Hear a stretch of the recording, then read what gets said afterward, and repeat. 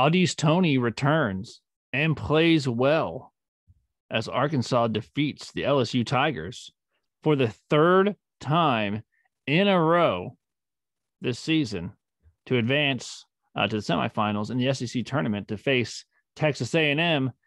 This is Arkansas basketball recap. I'm Daniel Price. That's Jacob Price. Let's break it down. Huge win. Hard to beat a team three times in a season and a conference team, a conference foe, no matter who they are. Really hard to beat a team that is going to the tournament three times in a season. It's just hard to do, man. It's just hard to do. And this was the easiest game that Arkansas had against LSU, I think. Uh, you know, the first half was a, a, little shaky, but this was the largest margin of victory, the most secure the game felt coming down the stretch. I think that they've had against LSU, period. And uh, man alive, I was glad that Toney uh, was not more hurt than he was because I do think, especially in the first half, he was what kept us in that game. He kept us, he kept it close the first half uh, and played well through the entire game. Yeah, there was no doubt about that. I mean, we would have, I think, almost not even, a, I mean, not, there's no question about it. We would have objectively been down by 12 instead of five or whatever because we didn't make a field goal for like 12 minutes or something like that. And all we had was like five free throws from him, not to mention, you know, his steals. I mean, well, he had 11 of the first 20 points. Mm-hmm. Uh, I mean, that, that obviously the first five minutes started out fun. and the last 15 minutes of that uh, first half were brutal for, for everybody. Yeah. I mean, part of it was, it's a well, part of it's the defense, dude. Like you're talking about some two teams that are getting after it defensively. Yeah, it was good defense, but and and both teams were a little bit cold. It was like a mixture. I mean, it's the perfect eh, mixture for a really ugly couple of minutes, which is both teams were playing really hard defense, especially in the paint. There was nothing happening close to the basket, and then it was making both teams were making kind of some bad decisions on taking bad shots, turning the ball over, and then they also weren't hitting any of the shots that they did get that were decent looks. So yeah, all did, that together, it, it, seemed like both teams. It was like I, I noticed, especially with Arkansas. Uh, like if Arkansas picked up, if we picked up our dribble, you had two guys on you immediately. Yeah, I mean, just don't. Do I mean, it, just don't do it, man. Like, I mean, and I know it's hard, hard to, to say, but the, the defense was very swarmy. It was it, was it was a pestering defense, and the inter the inside defense for both teams was just really good. I mean, it was it was tough down there. I mean, dude, Toney finishes with 22 points, 10 rebounds, two assists. Um, yeah, I thought I thought one turnover. Uh, so uh, as good, and we'll get into Lykes. As good as Lykes played, uh, uh, Toney is the player of the game for me. For one, like coming back, he's uh, he obviously wasn't 100, percent had to leave and get his ankle wrapped up. Not 100, percent keeping us in it. Uh, obviously, he had all this, re- you know, he has led, led him scoring and he had 10 rebounds, so that, that helps. But I think what it was is that Lykes played great. I love to see it coming down the stretch. We're gonna I need some of that. But Toney played almost perfect basketball. Like Lykes played really well and did a couple of Lykes kind of things that were really dumb I don't know if Toney made it. I mean, he had one turnover. So apparently he made one mistake the whole game. That's the only mistake I could possibly think of that he made. I thought he played great defense. I mean, well, Toney played perfect. Not to take anything away from Lykes. I'm, I mean, I'm ecstatic about his game. I'm, I'm, glad he had a good game. I hope he can get some confidence from that. Same thing with like what happened to Umude a few games ago, where he got his confidence and he's been shooting great ever since from the three point line. Um, he's kind of our go to three point valve. I mean, if he's if he's open, you know, he's been making uh, mm-hmm. a high percentage, and I hope that can happen for Lykes. Maybe he can get some confidence from this. Um, but that being said, when Lykes the good part of Lykes' game tonight, I mean, he played okay for the majority. I mean, he had to, you know, stay Notae in the first half, and he didn't do great, but it was he held, you know, he didn't get out of control or anything. Didn't turn the ball over a lot, but at the end there, he more or less just closed it out and kept them from coming back. But we already mm-hmm. had a 10 point lead. Well, and, and he was, he was, he big. just made it where they couldn't get back in it. He went on two runs by himself. So he went on a six point run at the end of the half. So we went into the half up. Uh, now it was all the free throw line, but you still got to make them. And, you know, he was seven of eight from the free throw line. Part of that was Will Wade. I mean, that was, hmm. that's as dumb a technical foul as I've ever seen a coach get especially mm-hmm. because I'm actually still not 100% sure. Sometimes, you know, something egregious happens, the refs absolutely miss it, and you see a coach losing his mind, and you're like, I kind of get it. But that one, if, if you're going to get a tech, get it with five minutes left so you can at least try to, you know, sometimes they try to be like, well, it's going to pump their team up. And I, sometimes that doesn't work. And I don't even know if it ever works, but at least there's that uh, logic where you're like, he's fired up, he's going to bat for his guys, he's getting on the rest. This is going to fire them up and make them play. It doesn't work with I don't, 20 seconds left. He didn't mean to get it. And that was, I don't think it was anything. I don't think it was the particular thing um, that he said. I think that was a, we already, we already warned you. And then that was an accumulative technical. Like if he had been like mm. chilling out the whole game and then whatever that was happened, that's probably nothing but there he was freaking out earlier and he had got a bench warning and that was just up oh, that you did you did it one more time. Now now here's your technical. Uh so I don't, I don't definitely don't think that was a get my guys pumped up kind of thing going you know as a, you're going down the stretch in the first half. But still you know Lykes was great. Uh I, I like Lykes at the free throw line that's for sure. I mean he's he's very good at the free throw line.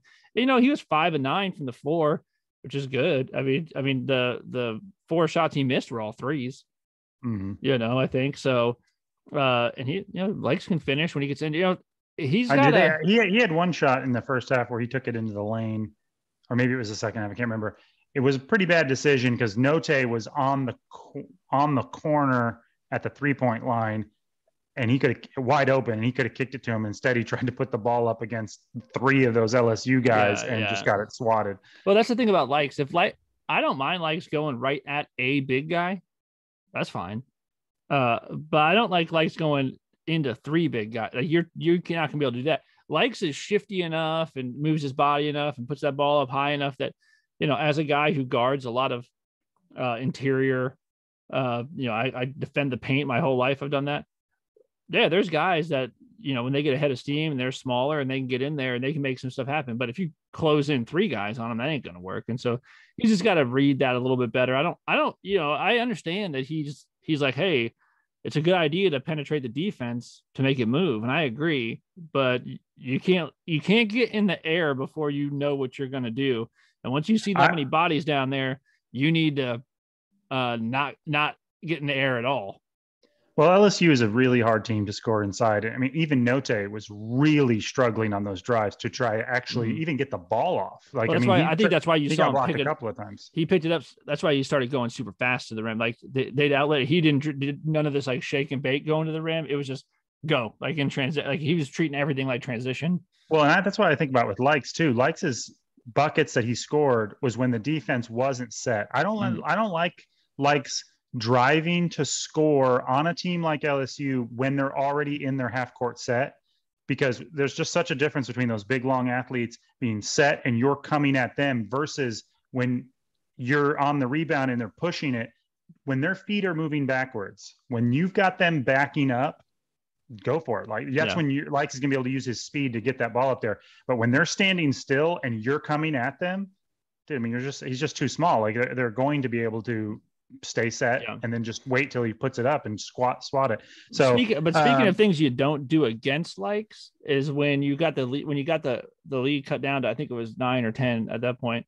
They cut it down and they and LSU had the ball, and they have like a six can ten guy trying to go full blast and tries to bust a spin move 25 feet from the basket on Chris Lykes, dude. I could have told you like that not to do that because that ball is going the other direction. The second you he just goes right underneath you and takes that ball away.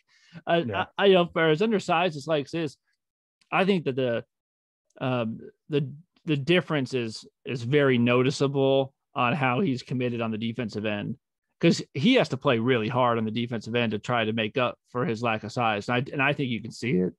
Mm-hmm. You know, he's still, you know, things are going to happen sometimes. You know, if he's getting a mismatch or whatever, and he, you know, obviously him jumping out at a guy is not as effective as a six six Toney doing it. There's nothing you can do about that, but the effort is absolutely there.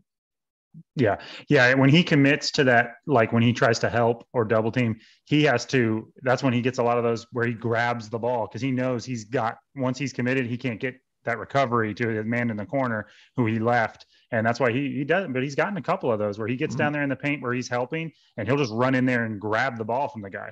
Mm-hmm. Um, and he has better leverage at that point. If the guy's got the ball, if a freaking six, eight guy's got the ball down, you know, at his waist, he's grabbing it with his shoulders and chest, whereas you're trying to hold it with your forearms. You know what I mean? Yeah. So he's actually got it. That's the only place he has an advantage is leverage when the ball's down low.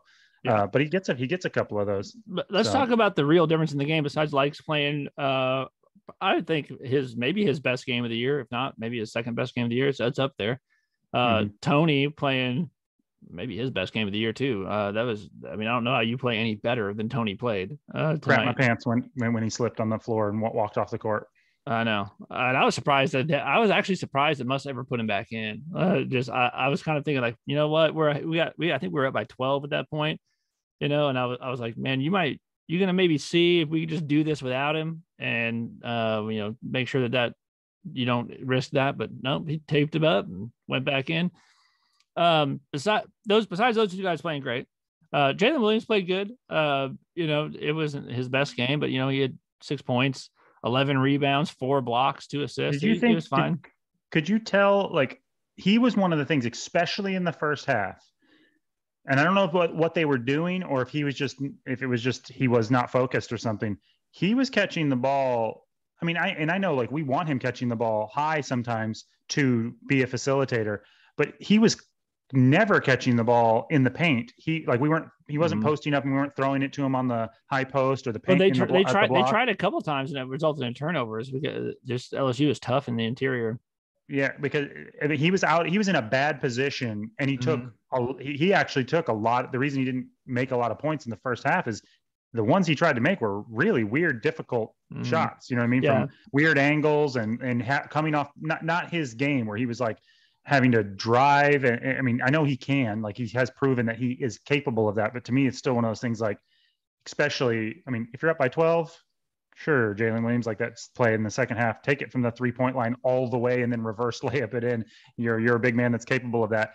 While that while he is good at that, it's not the shot you're looking for is Jaylin Williams dribble driving from the three point line if you're struggling to score. You know what I mean? Mm-hmm. And that's what happened a couple of times in the first half is he was catching the ball like outside the three point line or maybe just one step inside and then being forced to try to drive um, with multiple defenders in the paint.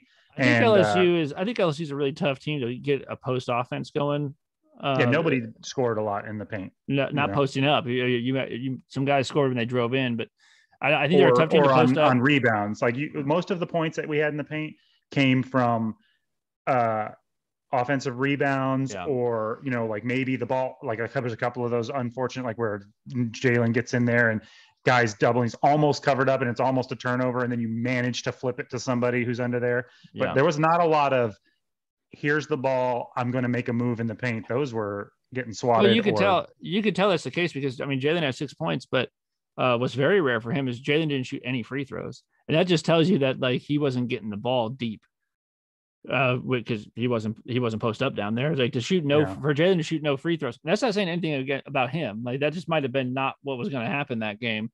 That's the way it goes sometimes. But that does tell you that Jaylin was not getting touches in the paint uh or else he would have been go you know you'd have seen him at the free throw line more. Because it wasn't like Arkansas didn't shoot any free throws. We we shot a lot of free throws but they weren't from post ups uh which that's how Jaylin does get to the free throw line a lot is getting the ball in the post making that move getting fouled that kind of thing and mm-hmm. so, and, and, he was drug, he, even on offense, a lot of times he was drug out um, where he wasn't down there to get those offensive boards. We did get 14 offensive boards. We rebounded the ball. And this is, this is what I was going to.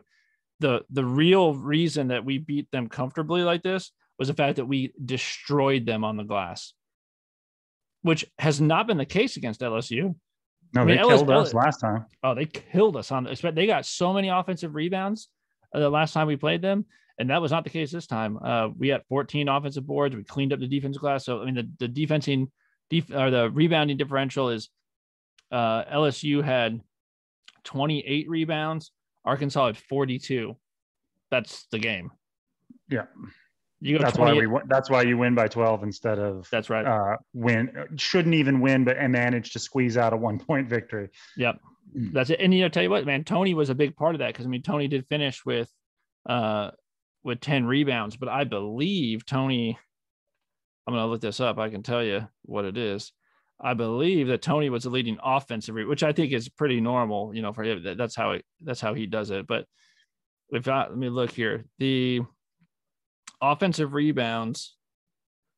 Yeah. So we had 14, they had six.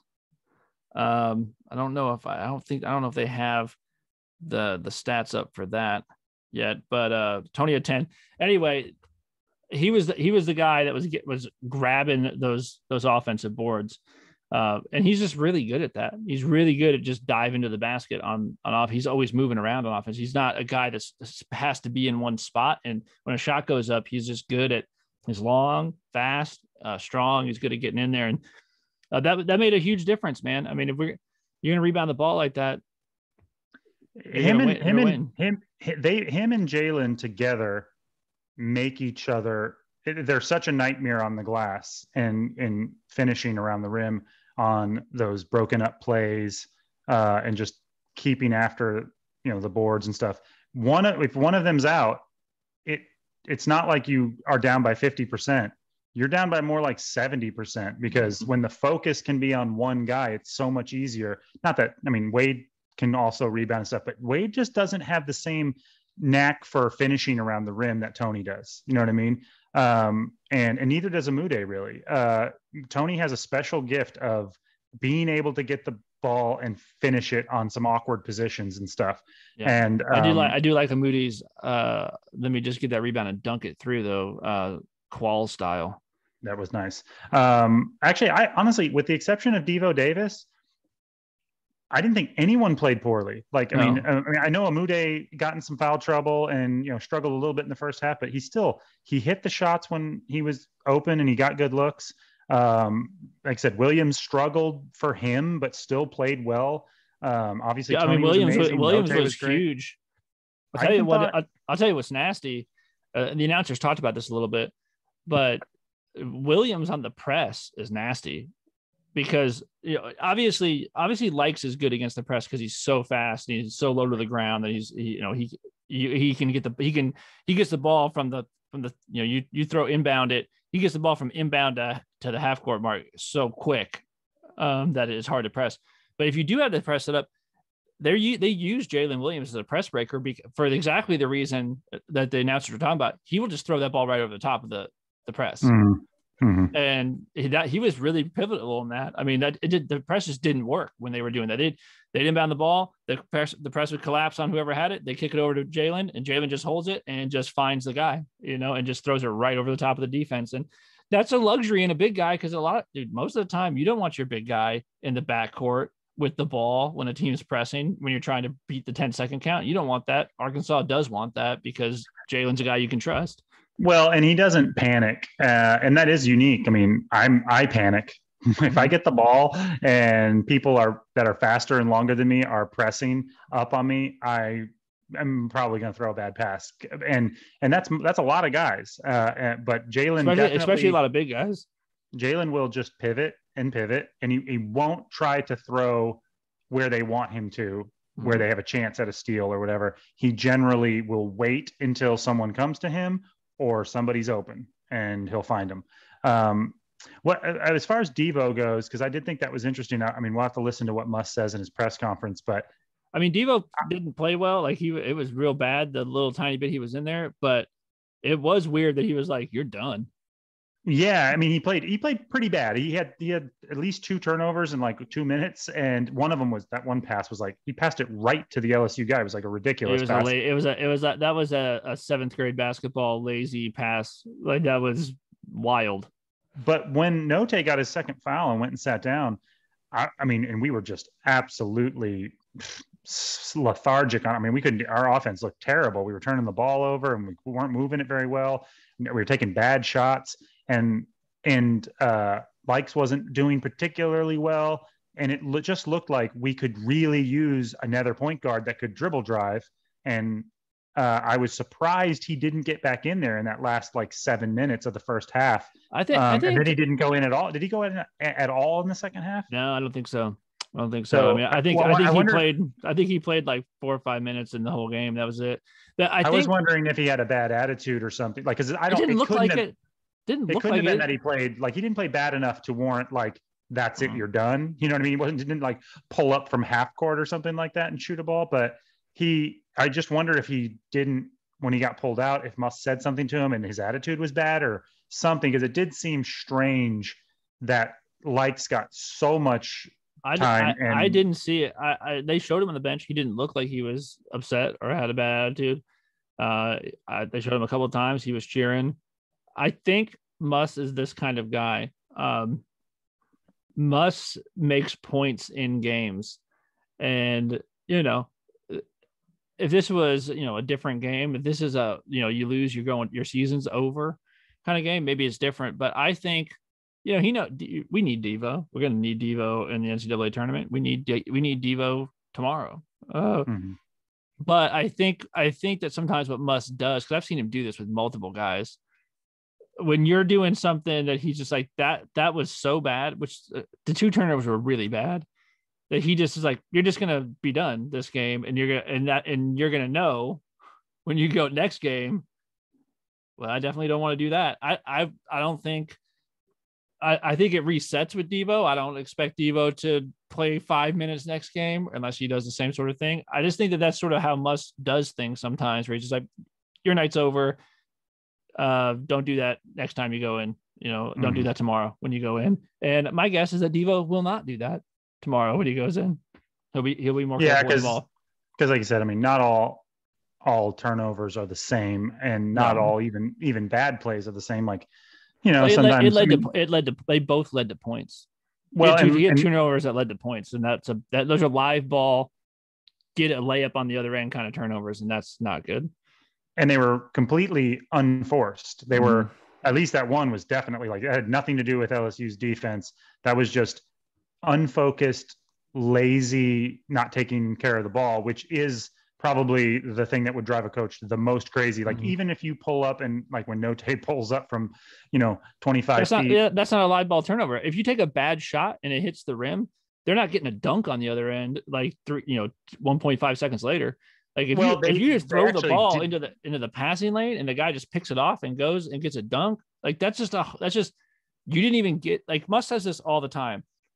I would rather so much rather you take a bad shot than to turn the ball over because uh, like live ball turnovers are so, they they the percentage of the time that they result in points when you turn the ball over it live is super high. Like you don't if you take a bad shot and you miss, that doesn't that doesn't result in points nearly at the clip that a live ball turnover does. Well, as an example, that shot I'm thinking of, Notae pulled up from like 25 feet early. I mean, like with no passes, and uh, just dribbled up and chucked it. It actually did brick super hard off the back of the rim.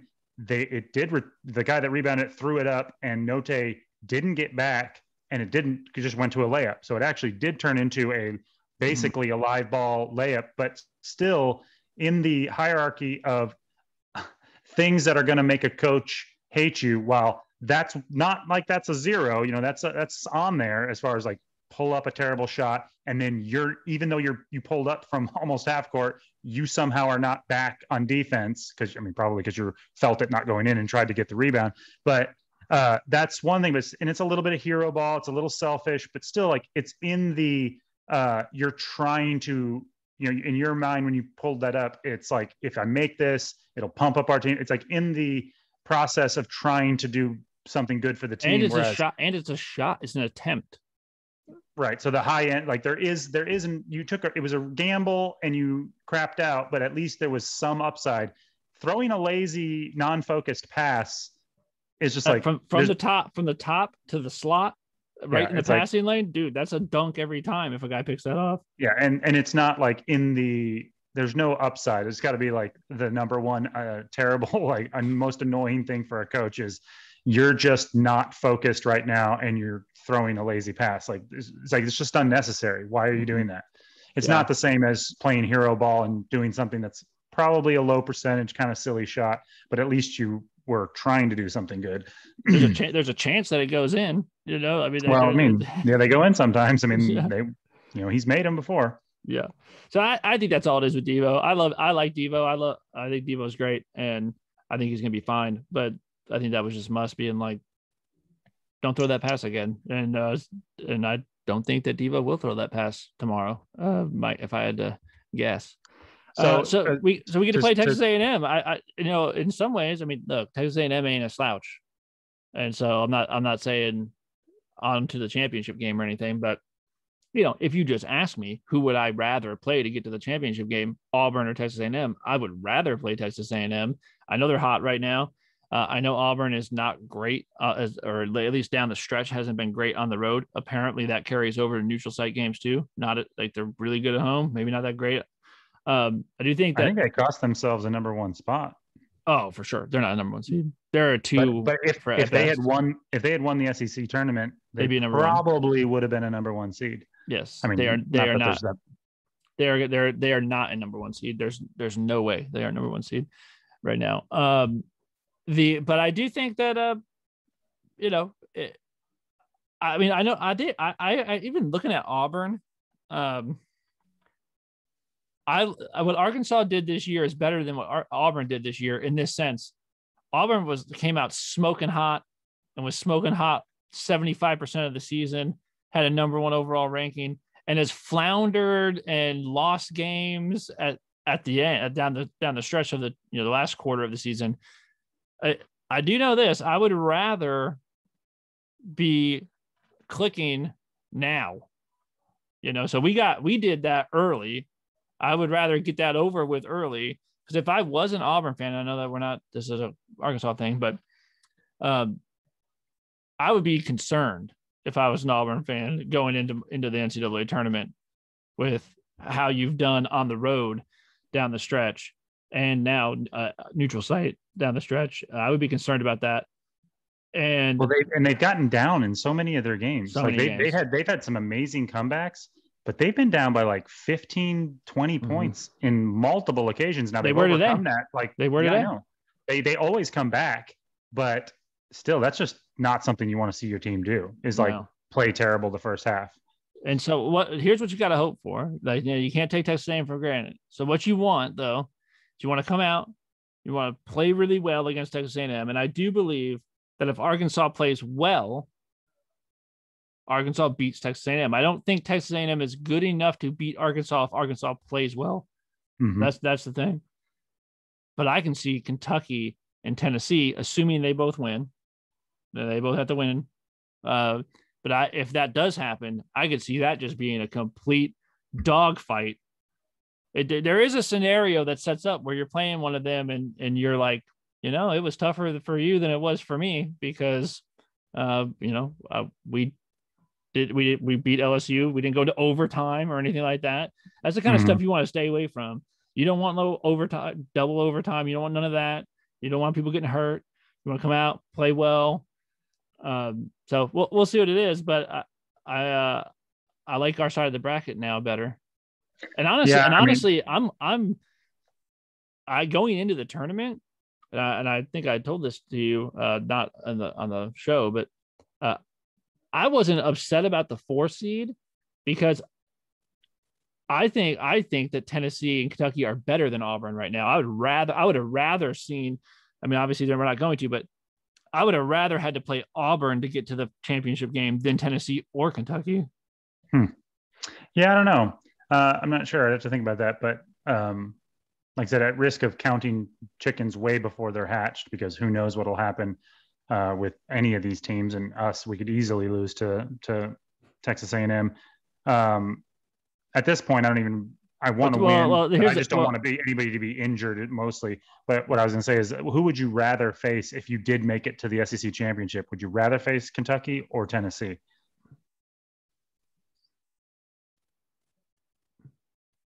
uh if i like which one do i think we, we is easier to beat sure the the game i want to see is arkansas versus kentucky because arkansas versus kentucky is the way the sec basketball is supposed to be.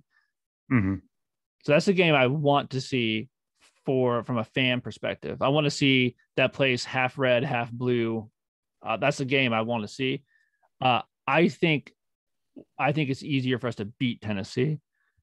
Yeah, I'm not sure if I because I, I, think that I think that we're two and zero against Tennessee if Toney's not hurt. Well, that's what I was going to say. I, I actually, from a personal, like I said, I agree with you that the Kentucky Arkansas rivalry, like in the SEC championship, that feels like the 90s again. That would be cool. I personally, this year, rather see uh, Tennessee again because I kind of feel like.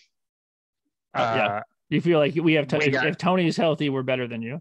We should have beat them both times, and we should have beat them and LSU three times. you know what I mean? Or mm-hmm. or we could. So, um, and I tell you what, I, I, don't think Arkansas is making any friends in the SEC like that. That at the end there, where no. where they dunked it and then stole it, like uh, I th- I think between Auburn and what happened at the end of that game, and then Tennessee uh, and I kind of I kind of think that Arkansas still, and I I actually like this.